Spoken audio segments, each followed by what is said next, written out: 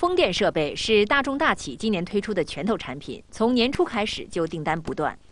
从这个表可以看出呢，我们最近三个月呢，产品的产量呢，每个月都在翻倍的增长，每个月呢都有这个新的大客户呢签约。而就在一年前，风电设备制造在大众大企这个家族中还是个小字辈，冶金、起重机等盈利最多的传统产品扛起了百分之六十五的销售额。但是去年下半年突如其来的金融危机，让老大哥的订单一下子减少了百分之三十，销量直线下跌。就在企业为未来发展担忧的时候，国家及时出台的摆布我们集团公司内部的生产经营，加大这个力度，加大这规模。本来为企业未来发展规划的新能源配套产品生产计划，迅速被提到了议事日程。企业对这些产品投入了十七个多亿的资金。而来自国家的一个多亿的扶持资金，更是让他们如虎添翼。随着大型风力发电、核电装备的订单纷至沓来，这些昔日企业的小字辈一下子成了主角，就连一些极其苛刻的国际大客户也将目光投向了他们。轮毂啊，是风电设备中的关键部件。那么在这个厂房中呢，为各种不同型号的风电设备配备的轮毂呢，就达到了七种之多。而其中有三种啊，就是专门为国外知名风电厂家量身定做的。啊，就是为日本三菱重工生产的产品，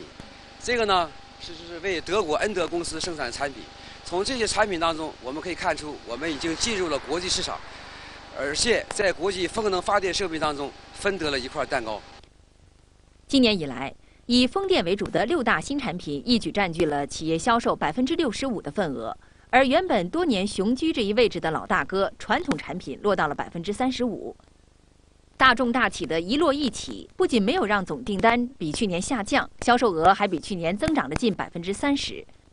据统计，今年一季度，我国装备工业增加值同比增长百分之三点七，比前两个月提高了两个百分点，装备制造业出现了回暖的势头。中共中央政治局常委、国务院总理温家宝近日在中共中央政治局委员、广东省委书记汪洋等陪同下，来到深圳、广州等地。就应对国际金融危机、增强企业自主创新能力等问题进行调研。温家宝十分关心广东经济发展，自去年七月份以来，已第三次到这里考察。面对国际金融危机的冲击，企业的自主创新能力显得尤为重要。中兴通讯依靠自主创新，企业生产逆势上升，今年销售总额预计还要增长百分之三十。当了解到这些情况后，温家宝表示，无论多么激烈的竞争，都阻挡不住创新的产品与有竞争力的产品。只有创新才能抓住机遇。温家宝强调，创新不仅可以创造财富、增强竞争力，还可以赢得中国人民的尊严。也就是说，在世界的创新的竞争中，中国人是可以走在前列的。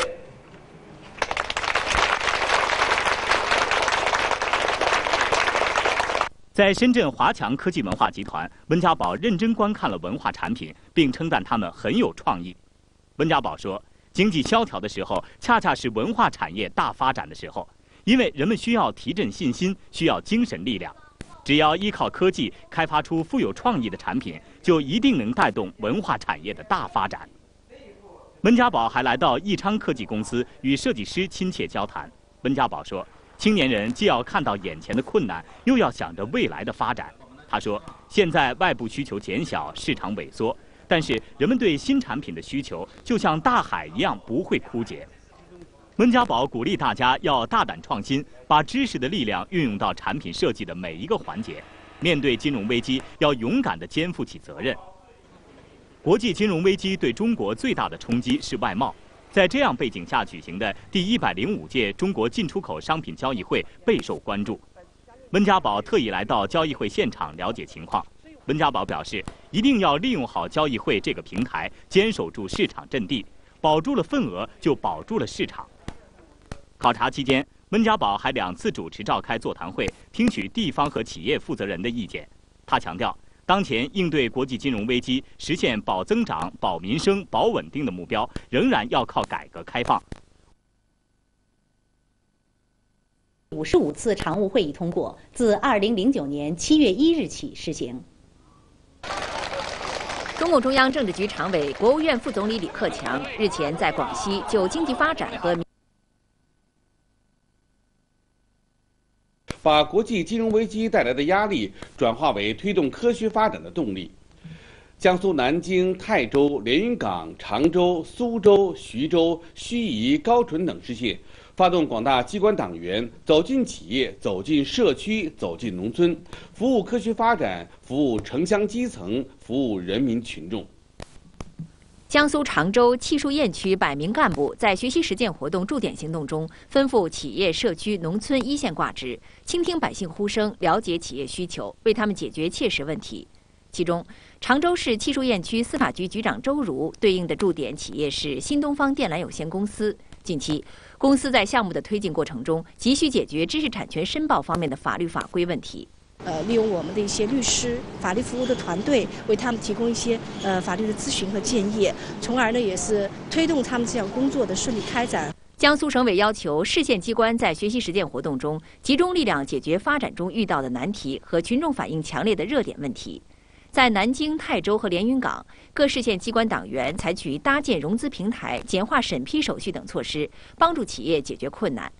常州、盱眙和高淳则排出一些重点企业集团和经济新增长点，在资金、政策、服务等方面提供优惠。在学习实践活动中，江苏省投入财政专项资金总计七十八点三亿元，推进农村人才工程、农民健康工程、为农服务工程、农村文化工程、农村环境工程。脱贫攻坚工程的实施，进一步将科学发展成果普惠于民。食品安全法六月一号起正式实施，卫生、农业、质检、工商、药监等部门积极合作，出台多项措施，加强食品监管职能。由卫生、农业、工商、质检等九个部门组成联合调查组，目前在全国范围内对滥用食品添加剂展开专项检查。对食品中的三聚氰胺等八十三个项目进行了专门的风险监测，已有三千多家企业的三千五百多张食品生产许可证被注销。我国在食品安全监管采取的是农产品种植养殖、企业生产加工、市场流通、餐饮等多个环节的各部门分段监管。部门之间缺乏沟通，